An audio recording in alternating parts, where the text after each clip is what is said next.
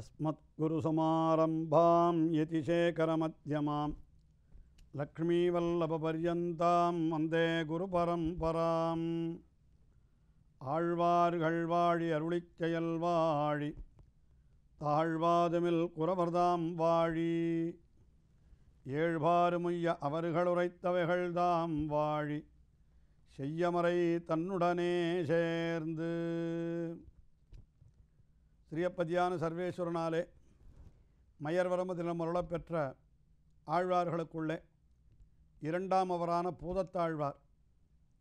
அந்த எம்பெருமான் அருளின் விசேஷ ஞானத்தினாலே அவனபடி அவனை பற்றி உள்ளபடி உணர்ந்து கொண்டு அவனுடைய தன்மைகளை எல்லாம் அற்புதமான பாசுரங்களாலே பாடி அந்த பாசுரங்களை ஞானச்சுடர் விளக்கி ஏற்றினேன் ஞானத்தமிழ் புரிந்த நான் என்று அதை ஞானத்தமிழாகவே அருளி செய்து கொள்ளுகிறார். அப்படிப்பட்ட பாசுரங்களுக்குள்ளே ஒவ்வொரு பாசுரத்திலேயும் அந்த எம்பெருமானுடைய பெருமைகளை சொல்லி அவனை போய் நாம் அடைய வேணும் அவனை பற்ற வேணும் அவனையே துதிக்க வேணும் என்றெல்லாம் நமக்கு உபதேசித்து வருகிறவர். அவ்வப்பொழுது அவன் நமக்காகச் செய்கின்ற செயல்கள் அதாவது எம்பெருமானுடைய அவதாரங்கள் அத்தனையும் எதற்காக? எல்லாம் பக்தானாம் துவம் பிரகாசசே என்று அடியவர்களுக்காகவென்றோ அவன் செய்கிறான். அதையும் கூடவே சொல்லிக்கொண்டு வருகிறார். இப்பொழுது முப்பதாவது பாசுரத்திலே அப்படி எம்பெருமான் செய்த சில செயல்கள் அவதாரங்கள் அவற்றை பாசுரத்திலே வர்ணிக்கிறார். நீயன் உலகளந்தாய் நீண்ட திருமாலே நீயன் உலகிடந்தாயன்பரால் நீயன்னு காரோதமுன்கடைந்து பின்னடைத்தாய் மாகடலை பேரோதமேனிப்பிரான் பேரோத மேனிப்பிரானே என்று அவனை அழைக்கின்றார் முதலிலே. அதாவது ஓத மேனி கடல் போன்ற அப்படியே கருமையான திருமேனியே உடையவன் எம்பெருமான் என்கிறபடியினாலே அவனை பேரோத மேனி பிரான்.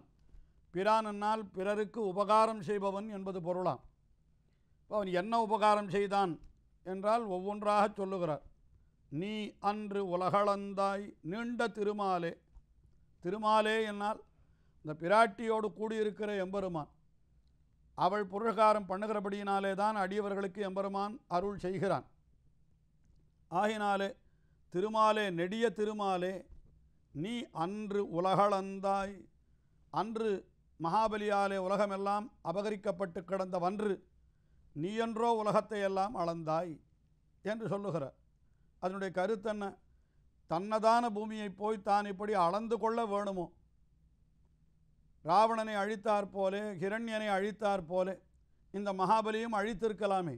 ஆனால் அப்படி செய்யாமல் ஏதோ தன்னை ஒரு யாச்சகனாக ஆக்கி கொண்டு அவனிடத்திலே போய் தானம் கேட்பது போலே கேட்டு இப்படியெல்லாம் அளந்தான் என்று அந்த சரித்திரத்தை சொன்னார்.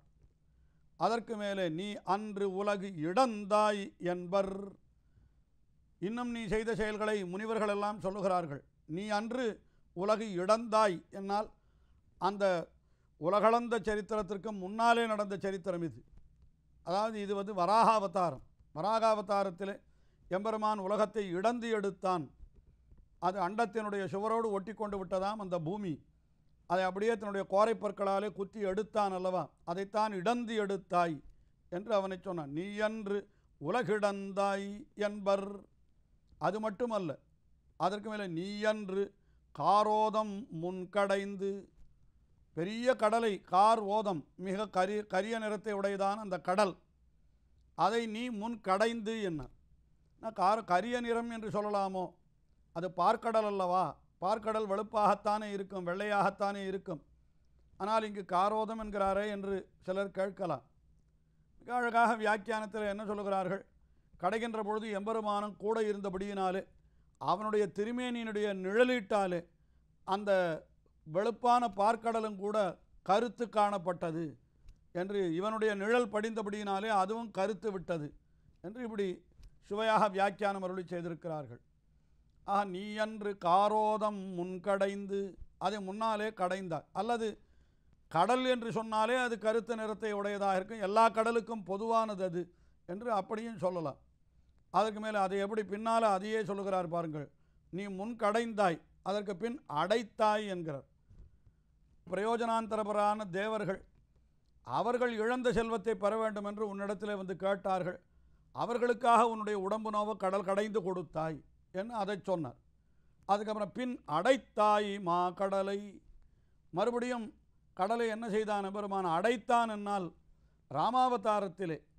அவன் இலங்கைக்கு செல்வதற்காக சீதா பிராட்டியை மீட்பதற்கு இலங்கைக்கு செல்வதற்காக அவன் என்ன செய்தான்? கடலிலே அணை கட்டி அடைத்தான். இதுவும் கூட ஒரு அடியவருக்காக பிராட்டியான அடியவளுக்காக செய்த செயல்தானே.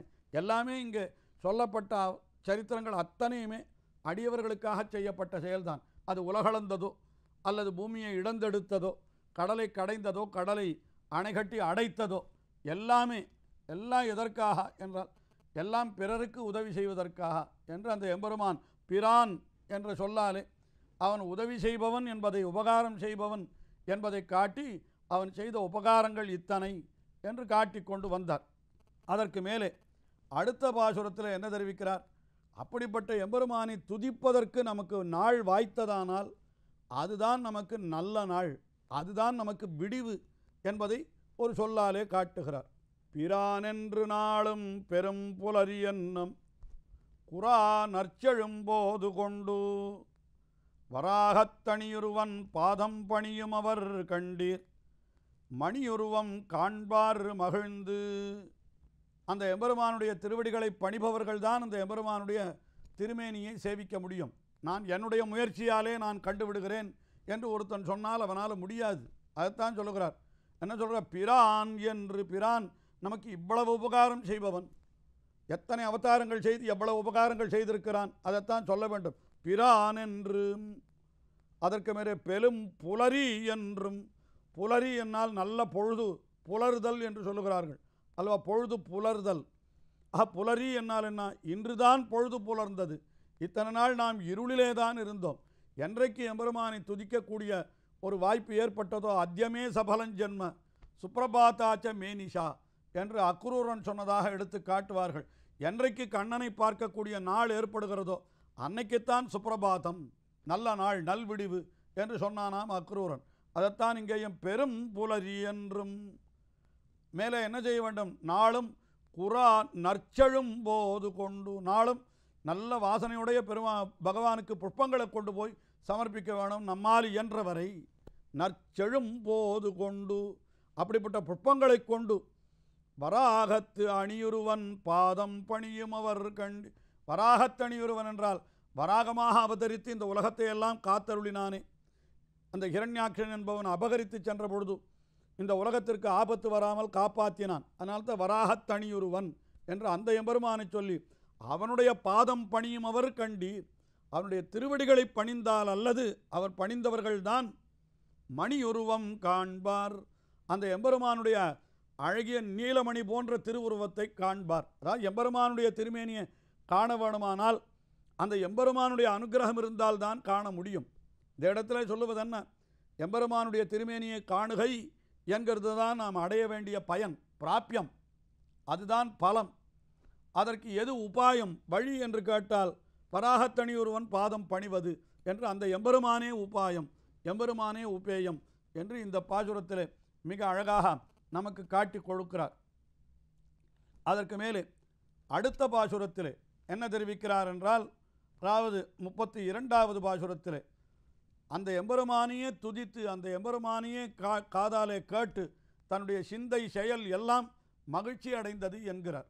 மகிழ்ந்தது சிந்தை திருமாலே மத்தம் மகிழ்ந்ததுன் பாதமே போத்தி மகிழ்ந்ததழலாழி சங்கம் அவை பாடியாடும் தொழிலாகம் சூழ்ந்து துணிந்து மகிழ்ந்தது சிந்தை என்னுடைய சிந்தை மகிழ்ந்தது. எதனாலே? என்னால் திருமாலே என்னுடைய சிந்தை மகிழ்ந்தது. உன் பாதமே போற்றி. நாக்கு அவனுடைய பாதத்தை போற்றினபடியினாலே மகிழ்ந்தது என்று நாம் கொள்ளலாம். சிந்தை மகிழ்ந்தது மற்றும் மகிழ்ந்தது உன் பாதமே போற்றி. அதற்கு மேலே மகிழ்ந்தது அழல் ஆழி சங்கம்.